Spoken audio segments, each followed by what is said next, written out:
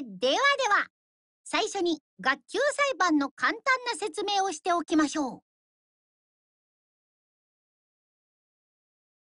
学級裁判では誰が犯人かを議論しその結果はお前らの投票により決定されます。正しい黒を指摘できれば黒だけがお仕置きですがもし間違った人物を黒としてしまった場合は黒以外の全員がお仕置きされ生き残った黒だけが最終学園から卒業できます。ちなみに必ず誰かに投票してくださいね。投票しない人には死が与えられちゃうんだからね。というわけでクレイジーマックスな学級裁判の開幕です！始まっちゃったね。裁判なんて久しぶりだな。あ経験はあるんだね。まあね。悪の相当だから。今まで悪いことばっかりしてきてるから。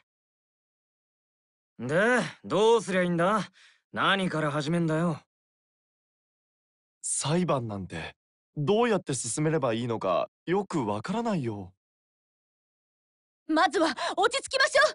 こういう時はおかしですよ。押さない。かけない。喋らない。喋らないと話し合いになりません。進め方なんて気にする必要ないわ。これは普通の裁判とは違うんだから。容疑者も弁護士も検事も裁判員も。務めるのは全て私たち自身それなら私たちのやり方で進めるしかないわ。だったら僕から議題を提供しようか。急にしゃしゃり出てくるんじゃね？えこのうんこ製造機が。ままあまあまずは話を聞いてみようよ。主は言いました。みんなの話を聞くことが大事だとうちはちゃんと話を聞ける子じゃぞ。血が出るほど耳掃除してきたからの。じゃあ喋らせてもらおうかな。僕はずっと疑問に思ってるんだけどさ。犯人は初回得点で外に出られたにもかかわらずなぜそれをしなかったんだろうね。私気になりますよっぽど学級裁判がしたかったんだろうな。だったら犯人はモノクマだな。誰よりも学級裁判を従ってたからな。ひゃっはー！これで決まりだぜ。俺様天才！でもよモノクマが犯人なんてありえんのか？もちろんありえないよ。僕はお前らに直接手を出したりしないもんあなた自身はそうだとしてもあなたを操ってる誰かは別だよね。んモノクマを操ってる首謀者なら天海君を殺すことができたはずだよね。首謀者？何それ？おおいら首謀者なんて知らないな。き聞いたこともないわねとぼけたってダメだよ。あなたたちを操っている首謀者って誰なの？首謀者か。この中にいる可能性が高いって話だったが。俺はみんなと同じ意見でキーボーだと思うよ。み皆さんも同じ意見なんですか？絶対に突き止めてみせるからね。ぷぷぷぷぷぷでも首謀者を突き止める前にまずは犯人を突き止めないとね。だったらとりあえず事件の状況を整理するところから始めない？天海君が死んだ状況を振り返ってまずは何が問題かをはっきりさせてみようよ。うんそうだね。超高校級の探偵の犀原君が言うなら間違いないよ。それじゃ始めましょうか。改めて事件を振り返ってみましょう。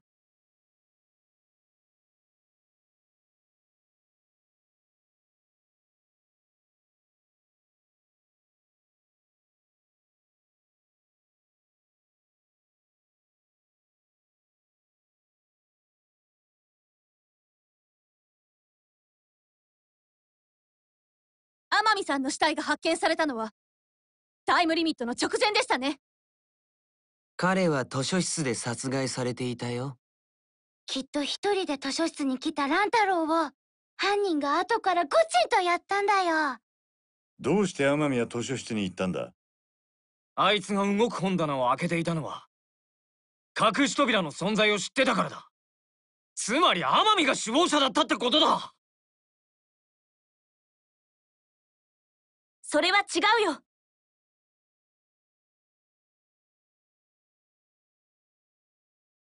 ちょっと待って。やっぱり天海君は首謀者じゃないと思う。ああなんでだよ。だって天海君は隠し扉を開けるカードキーを持ってなかったんだよ。もし彼が首謀者で隠し扉に入ろうとしていたならカードキーを持っているはずだよね。犯人が天海君を殺した後でカードキーを持ち去ったのかもしれませんよ。でも隠し撮りした写真のどこにも天海君がカードキーを持った姿は写ってなかったよ。だからやっぱり彼はカードキーを持っていなかったんだと思う。それに首謀者が死んだならこの殺し合いだって終わってるはずだよね。そうね。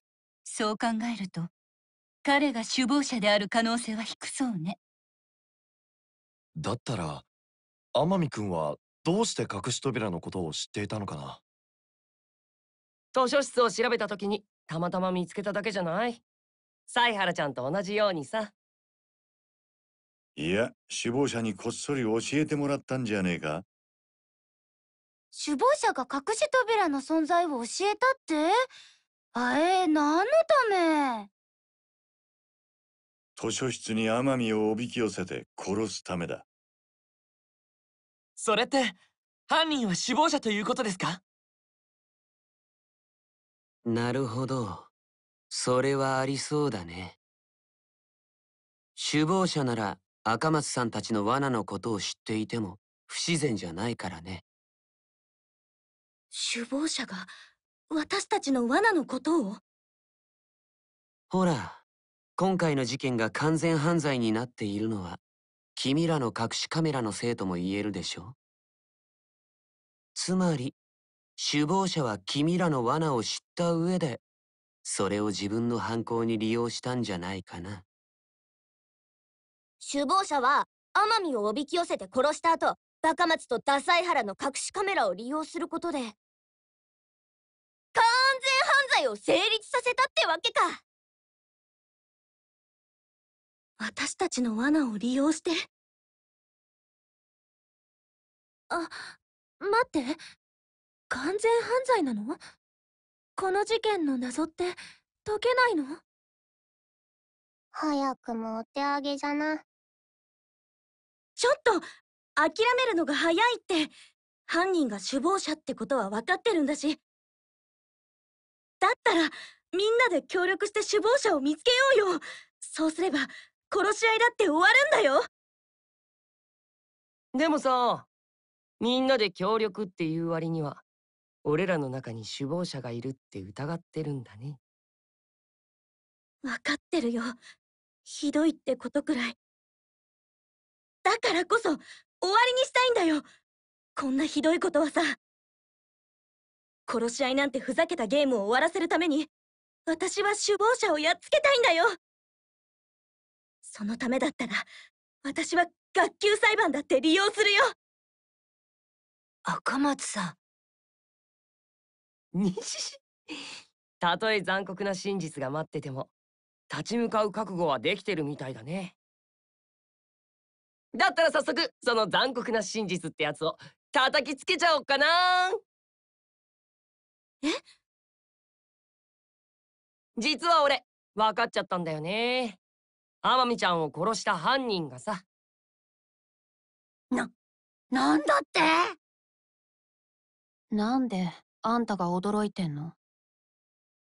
だってもしこれで正解だったりしたら歴代学級裁判の最短記録を塗り替えちゃうよ。ちなみに今までの最短記録ってどれくらいなの？そりゃもう早かったであいつ風のように早かったよね。だけどさ何もあいつ自身が風にならなくてもよかったのにね。この季節になるとついあいつのことを思い出してまうな。なんであんな死に方しちまったんだ。一人で宇宙艦隊に突撃するなんてかっこよすぎだろう。てめえらうるせえぞ。大事な話の最中だ。黙ってろ。でオマ犯人が分かったってのはマジなのかよ。うん。さっきの話だと犯人って赤松ちゃんたちの罠を知ってたんだよね。犯人がカメラに映ってねえのはそのせいだ。で誰が犯人なんだよ。つまり隠しカメラの罠を知ってたやつが犯人なんだよだから誰なんだって！お前だよ！俺様か！だって罠に使われたカメラってイルマちゃんが作ったんでしょ？作った本人ならカメラの死角とかも分かってるはずだよね。カメラに映らないように図書室に忍び込むくらいは朝飯前ってわけか。急に何言ってんだよ。お、俺様はカメラを作っただけで図書室に仕掛けるなんて知らなかったし。普通そんな妙なカメラを作れって言われたら何に使うか確認すると思うけどな。ねえどうして確認しなかった？どうして？どうして？ち疲れてたんだって。徹夜だったからついうとうと寝ちゃって疑われた途端に反応が過敏だね。やましいことでもあるんじゃない？や、やらしいことなんてしてねよ。敏感な割に大きな胸だとは言われるけど。イルマさんって強気な割に打たれ弱いよね。ま、待って。見逃してよ。お金？お金が欲しいの？言い訳も完全に悪党っぽくなってきましたよ。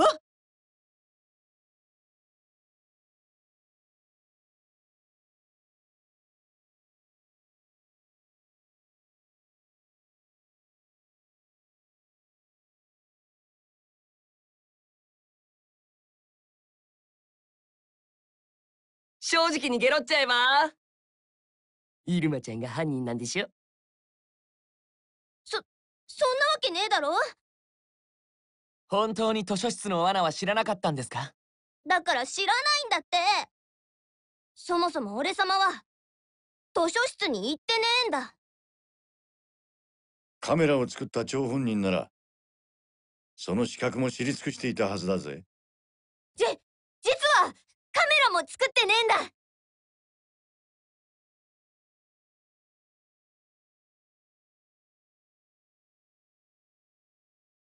それに賛成だよ。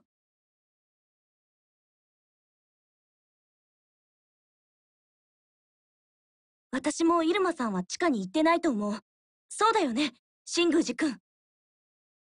もちろんだよ。だって殺人が起きた時間帯イルマさんはずっと食堂にいたからね。僕は食堂で最後の晩餐をいただいていた時それを見ているんだ。ちなみにメニューは孫の誕生日に買ったケーキを一人で食べるおばあちゃん風パスタだよ。悲しいエピソードしか浮かばないけど。最終的には孫もおばあちゃんが美味しくいただいたんだね。悲しいどころか猟奇的ね。さすがはお父やんやで。というわけだから入間さんのアリバイは僕が保証するよ。このナメクジがもっと早く言えっつーの！ああ赤松は頑張ったぞ。貧相な胸の雑魚キャラの割にはな。急にすごい上から目線だね。どこの何がメッシュ？白金ちゃんってよく自分勝手な例えを使うけどそれってぼっち特有のやつだよね。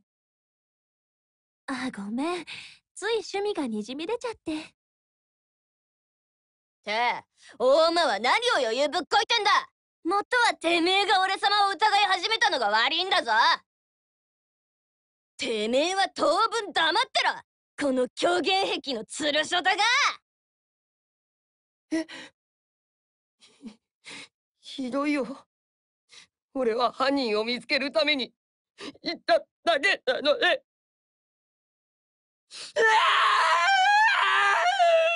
そんな言い方はひ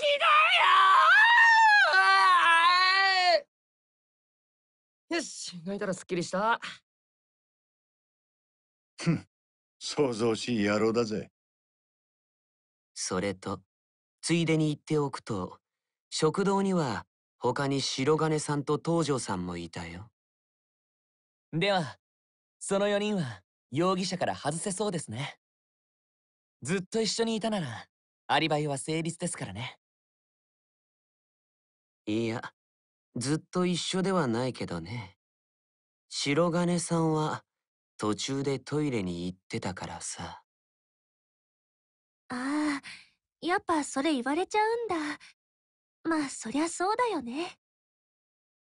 うん確かに言ったよ食堂から一番近いトイレにね。トイレ？トイレだって？いや待ってました！ワクワクするね！なんでですか？硬いたいかな？柔らかいたいかな？大であることが前提なんやなでも本当にトイレに行っただけで地下に行ったりはしてないよ。それに怪しまれるほど長い時間でもなかったと思うし。だけどよあんたは超高校級のコスプレイヤーなんだよな。だったらトイレに行くふりして誰かに変装した可能性もあるんじゃねえのか？変装？ないない。変装なんてしないって。うん。私もそれはないと思う。その根拠だって知ってるしね。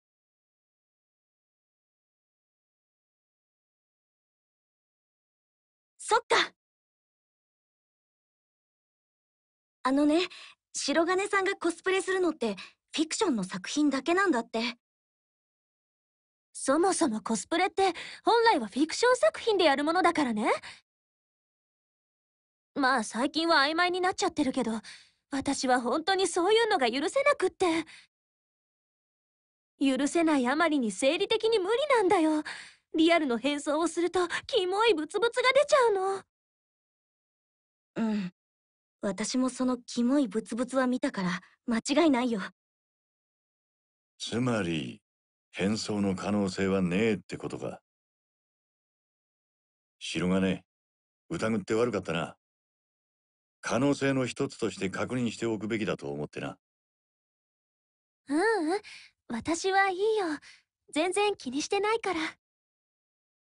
白金ちゃんはいいやつだね。入間ちゃんとの器の差が出たよ。ててめえが言うんじゃねえとにかく食堂にいた4人のアリバイは間違いなさそうね。だったら東條と白金と入間と新宮寺は容疑者から外れるね。4人ともおめでとう！もう帰ってもいいぞ！え？帰るのはダメだよね？ねえその4人以外で怪しいのは誰なんだよ？地下に行った名城しごとき豚野郎集団か？地下に行ったのは誰だっけ？えっと私と犀原くんが二人で見張りをしていた時に見たのは桃田くんゴン太くん春川さん茶柱さん夢野さんアンジーさんに死んだ天海くんの7人だったよ。ではその7人が容疑者なんですねそうなるね。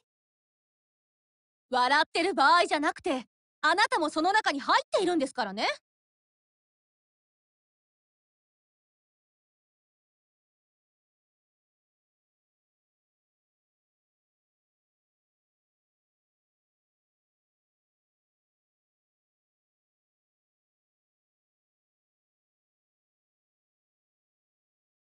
さてと、容疑者も絞られたことだし、本来なら拷問して聞き出すのが手っ取り早いんだけど。ご拷問なんてダメですよ！天子は痛いのが苦手なんです！委託されなくてもあることないこと何でも喋りますから！あることだけでいいわよ。地下に行ったメンツの中に犯人がいるとしたら怪しいのは春川ちゃんじゃない？人とか殺してそうな雰囲気だし。はあバカ言わないで。どうせ桃田あたりが犯人なんでしょな、何言ってんだよ！俺が犯人なわけねえだろ！誰だ？誰が犯人なんだよ！ゴンタも違うよ！紳士は人を傷つけたりしないんだ！ううちだって違うわ。い。人殺しなんて、めんどいことはせんぞ。アンジーにはアリバイがあるぞ。だから誰が犯人なんだって。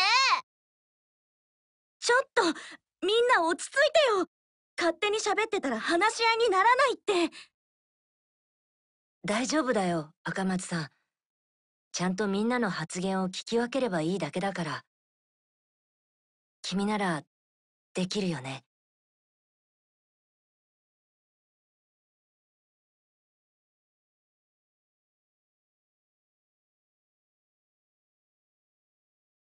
そもそも私は誘われただけだよ。怪しいのは誘ったやつじゃん。俺のことじゃねえか。俺は違えって言ってんだろ。天子に罪をなすりつける気ですね。男子はすぐになすりつけようとしてくるんですから。うちは悪い子ではないぞ。産んでくれたママに聞いてもらえばわかる。本当にアリバイがあるんだってうちは犯人じゃないよ。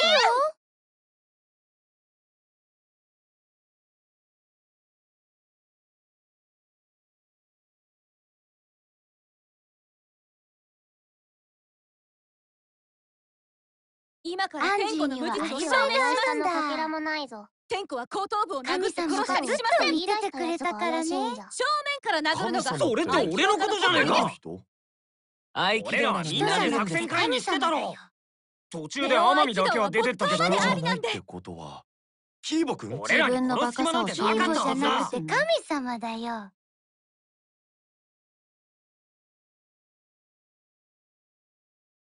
キーボくん聞こえたよ。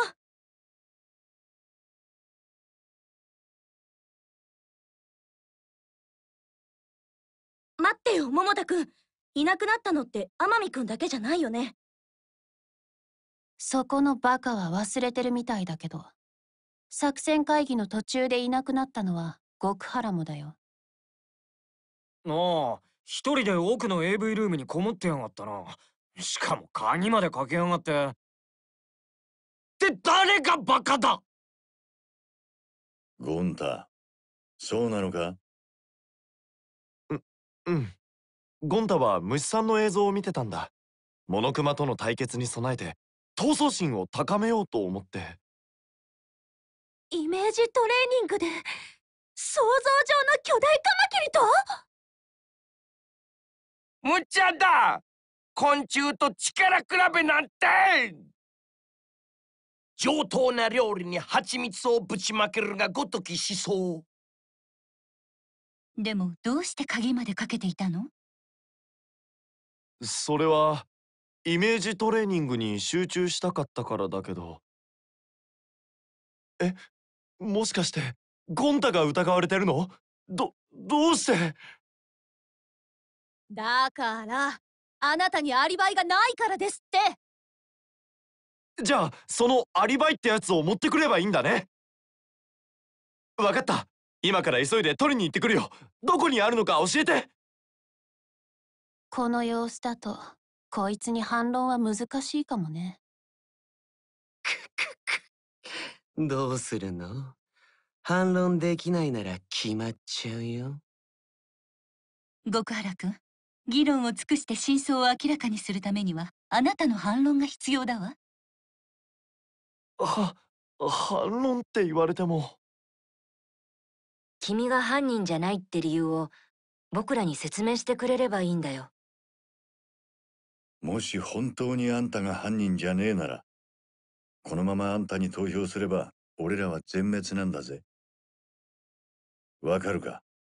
あんたは俺らの命も背負ってるんだ。必死にやってくれよ。わかった。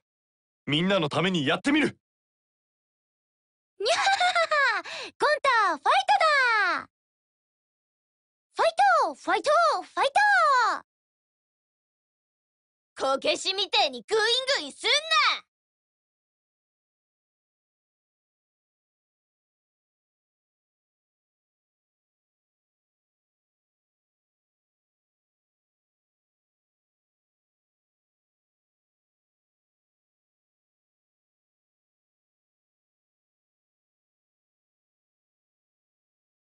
ゴンタは犯人じゃないんだ。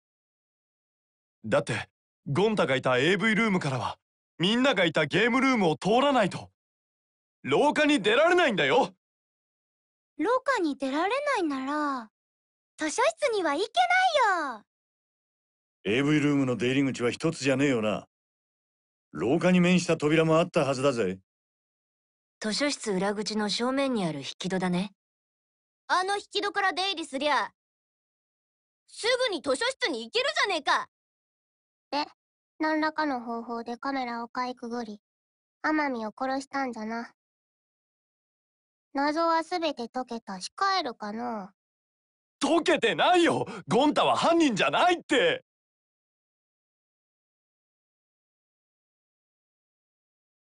それは違うよ！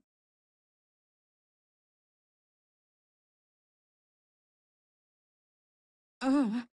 あの引き戸からの出入りは無理だよ俺様が間違ってるっつうのか？いい胸してるじゃねえかこのドブス。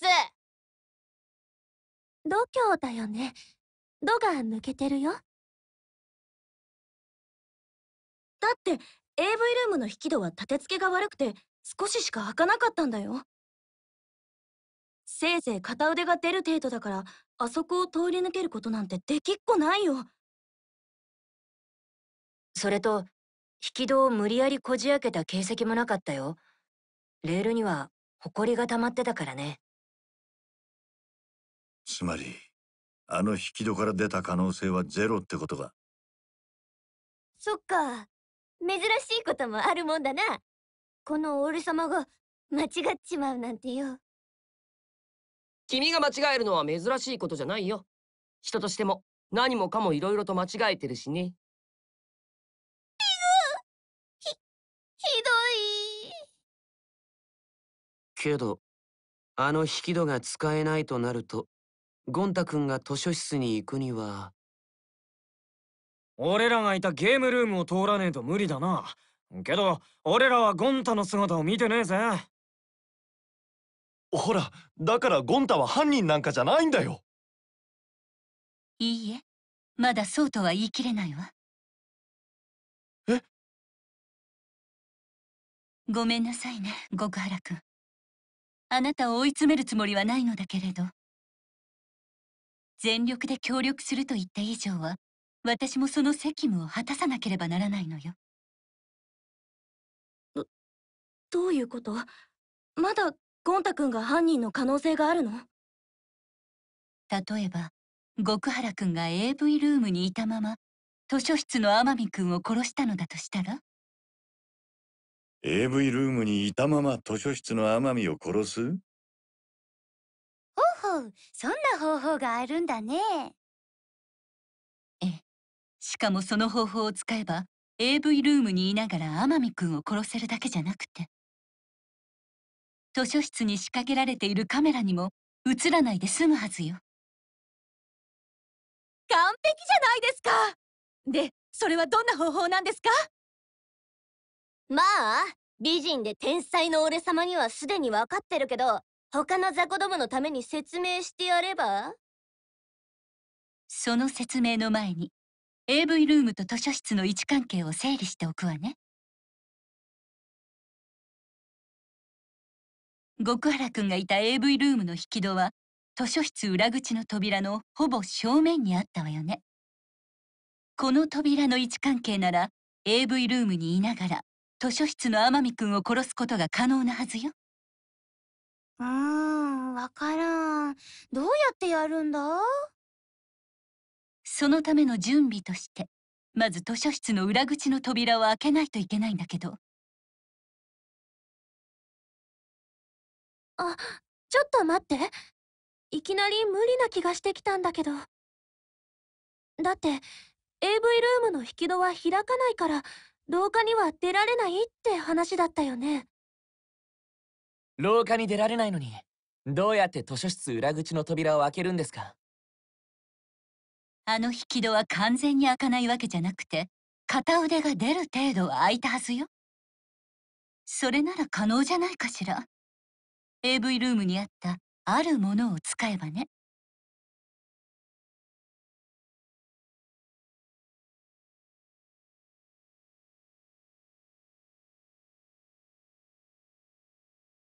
そっか。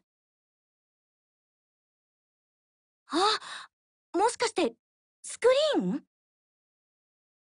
そうよ。AV ルームにあったスクリーンを丸めれば長い棒の代わりになるでしょ？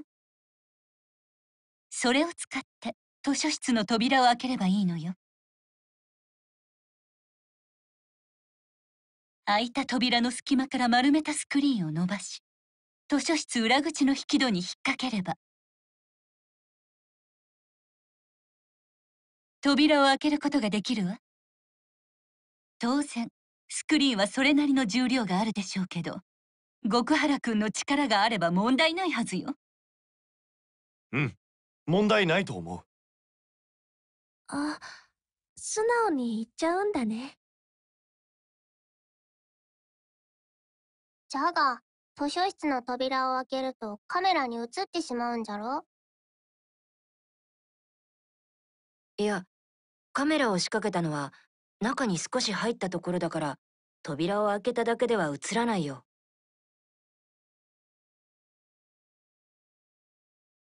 犀原くんたちが撮った写真もそうだったね。先頭の人物が扉から少し入ったところでシャッターが切られていたよ。図書室の扉を開けた方法は分かったけどよ。それが何だってんだ？ゴンタは AV ルームから出られねえんだし図書室にいる天海を殺しに行けねえじゃねえか。だから極原くんは殺しに行ったわけじゃなくて AV ルームにいながら図書室の天海くんを殺したのよ。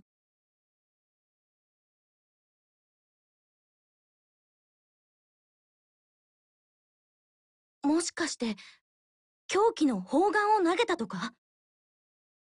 え待ってください。砲丸を投げるなんてそんな突飛な行動を。ってよく考えたらそれが普通ですね。だって砲丸ですもんね。そうよ。凶器の砲丸は本来投げるもの。投げて使ったとしても何も不思議じゃないわ。それに人が通れない隙間でも砲丸なら通すことができますねしかも天海くんの死体と AV ルームの扉はちょうど直線上にあるわ。つまり図書室裏口の扉さえ開ければ砲丸を投げて被害者に当てることは可能なのよ。けどかなり距離がありそうだぞ。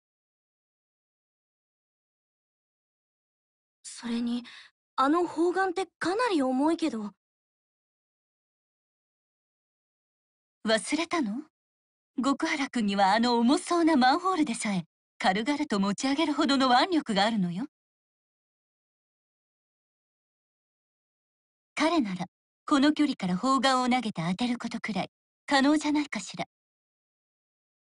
どっかのちりとり専用ロボはともかくゴンタだったらできそうだね。ちりとり専用ロボは僕のことではなさそうですね。僕はちゃんと掃き掃除もしますからでどうなんですかゴンタさん。あの距離でも砲丸を投げられそうなんですか？それはできると思うけど。また素直に言っちゃうんだね。やははゴンタすごい！超高校級の砲丸投げ選手でもいけちゃうなじゃあ犯人はゴンタで決まりだな。待ってよゴンタは誰かを傷つけたりしない。だって虫も殺したことないんだよ。本当なんだよ。紳士は嘘をついたりしないんだ。らしいぜ。どうするんだ？信じてあげたいけどその材料がないからね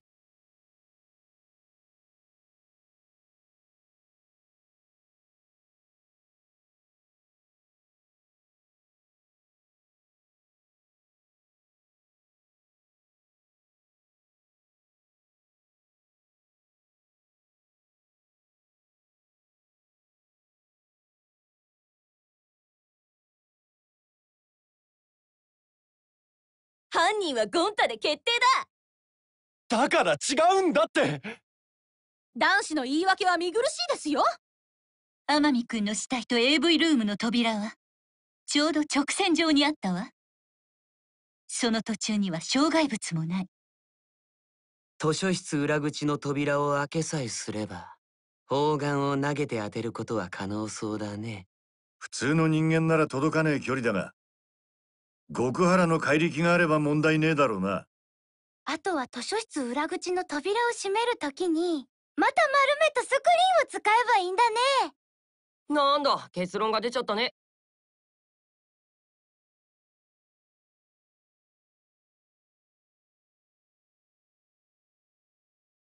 それは違うよ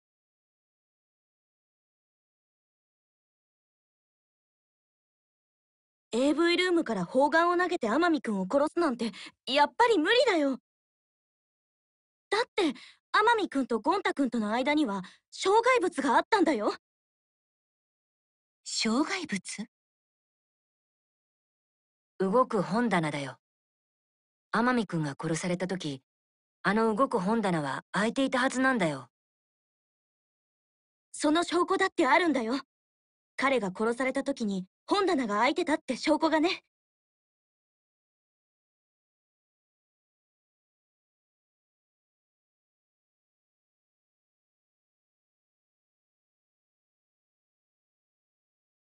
そっか。ほらこの写真を見てよ。これは隠し扉を狙ったカメラで撮った2枚目の写真なんだけどさ。天海君が殺される直前の写真ですね。ほら隠し扉の本棚が全開になっているでしょ。でこの本棚はここから自動的に閉まっていって。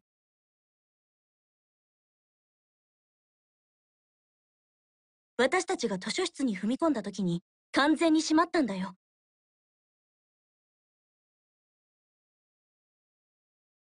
つまりそれより前はこの本棚は開いていたってことだから。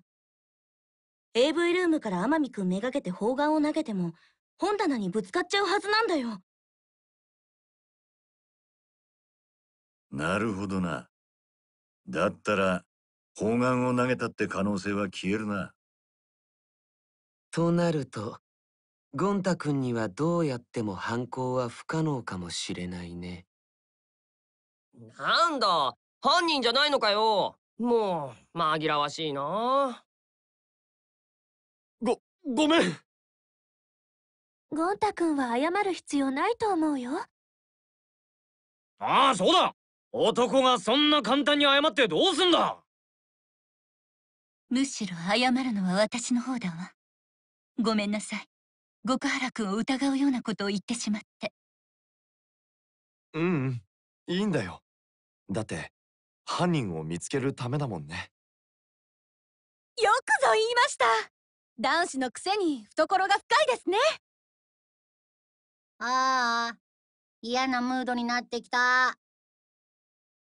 どこがじゃいいムードではないかアホか君は。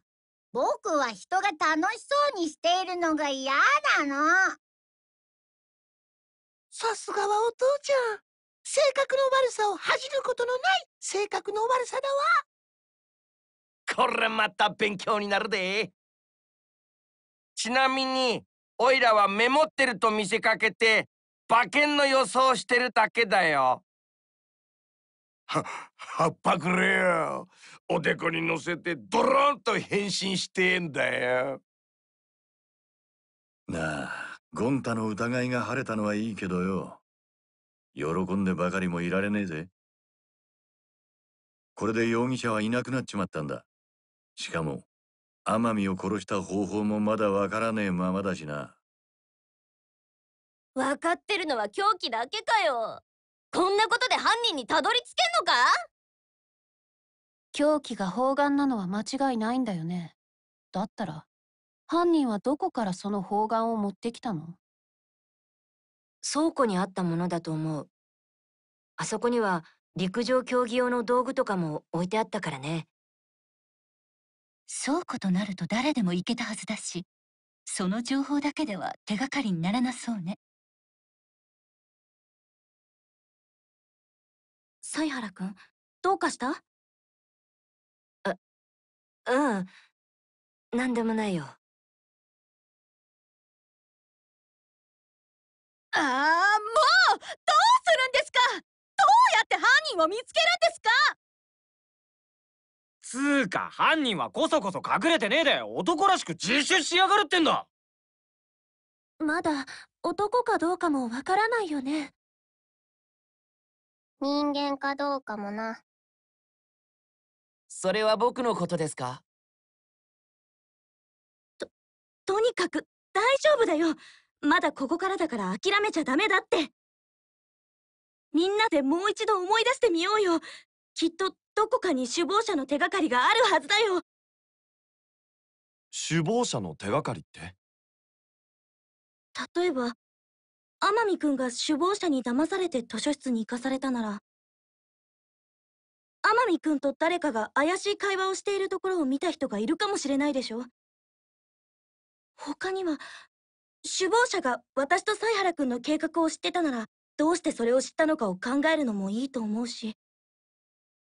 とにかく何か首謀者にたどり着くような手がかりをみんなで思い出してみようよ。でもでも本当に犯人って首謀者なの？え？そうだけどなんで？だったら犯人が図書室に入った方法はさっき神様が言った方法で間違いないね。ん？神様が言った方法じゃと？あそっか。みんなには神様の声が聞こえてないんだっけ。じゃあアンジーが代弁してあげる。神様はこう言ったんだよ。犯人が首謀者ならカメラに映らないで図書室に入る方法があるっ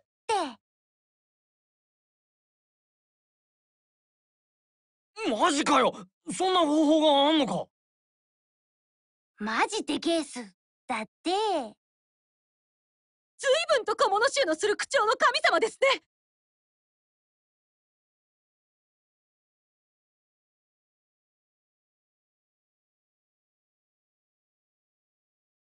主は言いました。神様に代わってアンジーが説明してあげるべきだと。にゃはははこれが神様のみぞ知る事件の真相だぞ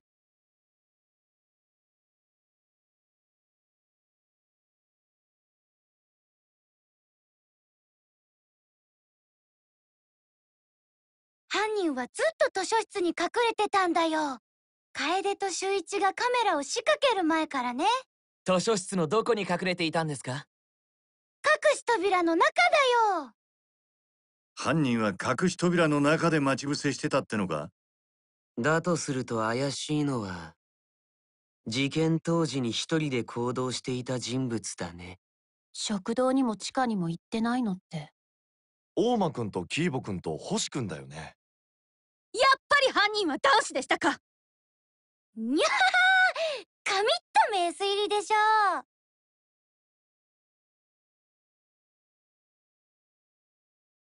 それは違うよ。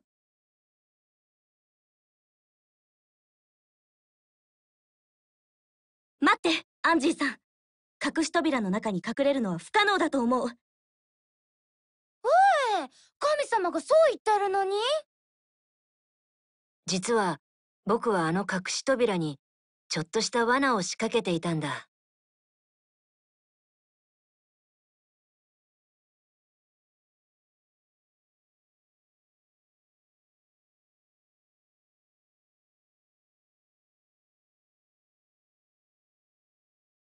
首謀者が隠し扉に入ったかを確認するために僕はカードリーダーに埃を仕掛けておいたんだ。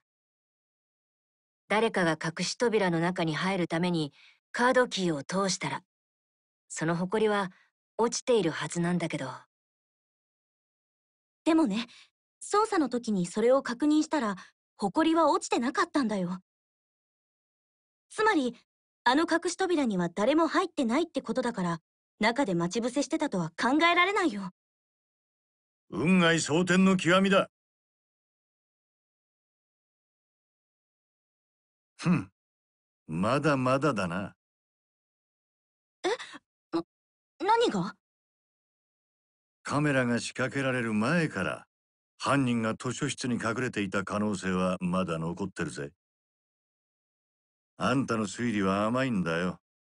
それじゃあ何の証明にもなってねえぞ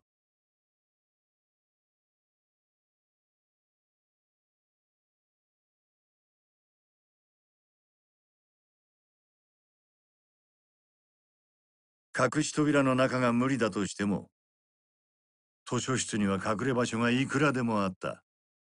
例えば本の山の中だ。犯人はカメラが仕掛けられる前からその中に潜んでたんじゃねえのか。そして天海を殺した後で逃げたのさ。でも殺して逃げるにしたって逃げる姿がカメラに映っちゃうよね。だったら天海を殺した後でまた図書室に隠れればいい。そして全員が死体に注目している中自分もたった今駆けつけたかのようにその場で合流すればいいだけだ。その言葉切っちゃうよ。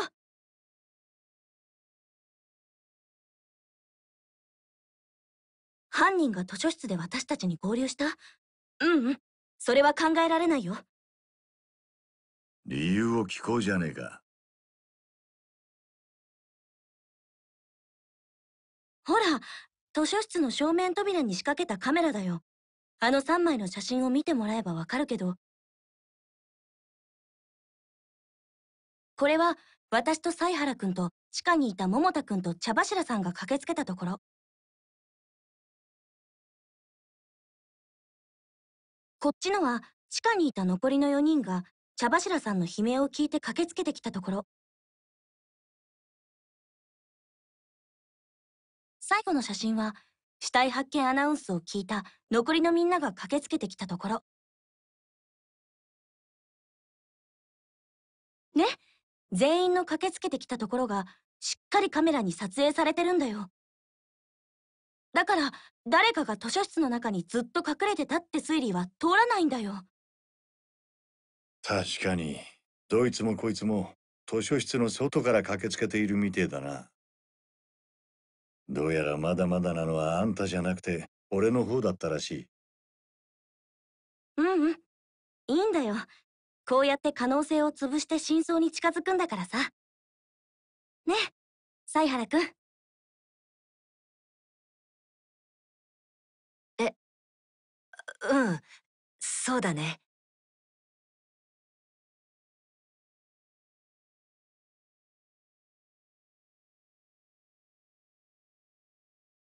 やはり問題となるのは犯人がどのように図書室に出入りしたのかということね。まずはその問題を片付けましょう。そうしないと僕らは先には進めません。でも不思議だよね。仕掛けたカメラに姿を残さず天海君を殺すなんてさ。まるで透明人間の仕業じゃな。じゃが、うちの魔法ではないぞ。うちの魔法では半透明が限度じゃからな。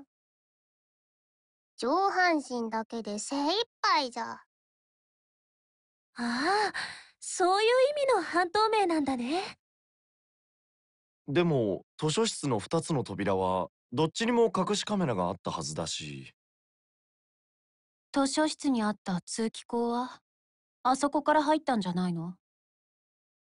だけどあの通気ダクトがつながってる教室は私と犀原くんが見張りに使ってたんだよでは、赤松たちの隙をついたんじゃな。犯人が透明人間になって。夢野さんは透明人間に対する並々ならぬこだわりがあるみたいですねうーんそれも無理だと思う犯人が通気口から図書室に忍び込んだ可能性はないよ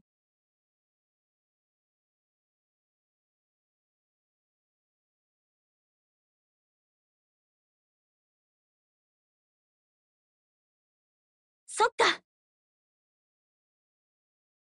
あのね図書室に隠しカメラを仕掛けた時私は念のために通気口の前に本を積んでおいたんだ。もし誰かがあそこから出入りしてたら本が崩れてたりしてるはずだけど操作の時に確認してみたら本はちゃんと積まれたままだったんだよ。通気口から出るときに本をどかしてその後で戻したんじゃねえのか？その作業を狭い本棚の上でするのはさすがに難しいんじゃないかしら。通気口も無理でどっちの扉も無理でじゃあ犯人はどこから図書室に出入りしたの？神隠しならぬ神現れ！他に出入りできるところはもうなさそうだけど。うわひらめいちまったぞ！犯人は図書室の扉から出入りしたんじゃねえか？あの今までの話は聞いていましたか？扉から入ったら写真に写ってしまうんですよ。んなもんカメラのインターバルを狙えばカメラに映らねえで出入りできんだろうが！インターバル？何それ？つまり犯人はカメラが仕掛けられてることも知ってたしカメラのインターバルのことも知ってたんだ。でそのインターバルの間に図書室に忍び込んだんだ。そうすりゃカメラに映らねえで済むからな。ひゃーひゃひゃさすがは美人すぎる俺様の名数入りだぜ。ねえイルマさんそのインターバルって何？ああ？てめえは今さら何言ってやがんだ？知っての通りあのカメラは一度シャッターが降りると次に撮影できるようになるまで30秒かかっちまうんだ。もともとは手動のフィルムを自動で巻き上げるように改造したせいなんだけどな。初耳だよ。そういう大事なことはもっと早く言って。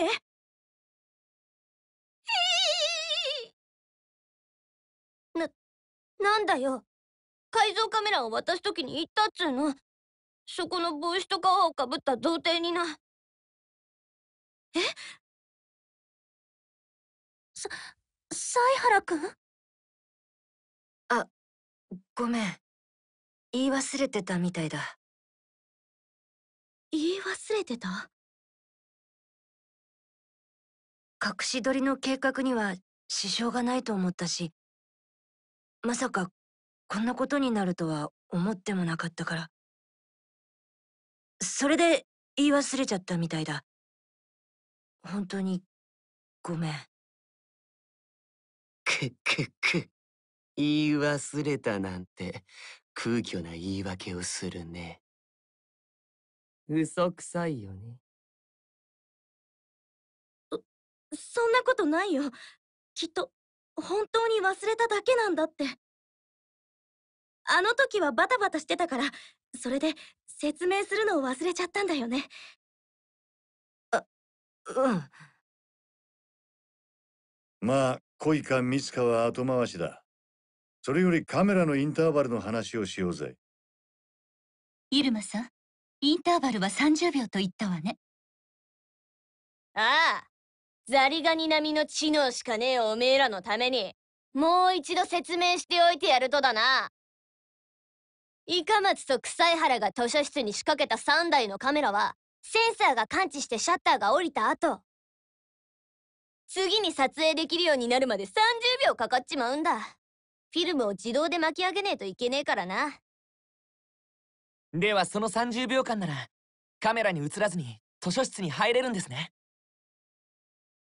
30秒もあるなら図書室に入るどころか天海君を殺して逃げることも可能かもしれないわよ。はい急げば可能かもしれません。なるなる。じゃあ間違いないね。犯人はカメラのインターバルを利用したんだよ。となると犯人はそのインターバルのことを知ってたイルマちゃんで決まりだねバカ言ってんじゃねえ。俺様には食堂にいたってアリバイがあったろ？ああそういえばそうだったね。じゃあ他にインターバルを知ってたのって。うーん誰だったっけ？犀原だけだよ。くっくっく。それなら図書室で天海君を殺した犯人も犀原君ということになるのかな？犀原くんか？おおいどうなんだよ犀原。犀原君違うよね。君はそんなことをしたりしないよね。黙ってないで何か言ったら？沈黙は停滞を生むだけだよ。はっきりしてください。あなたが天海さんを殺した犯人なんですか？ねえ、犀原くん、本当にどうしたの？まさか黙秘なんて言わねえよな。にししいいね。つまらなくない展開になってきた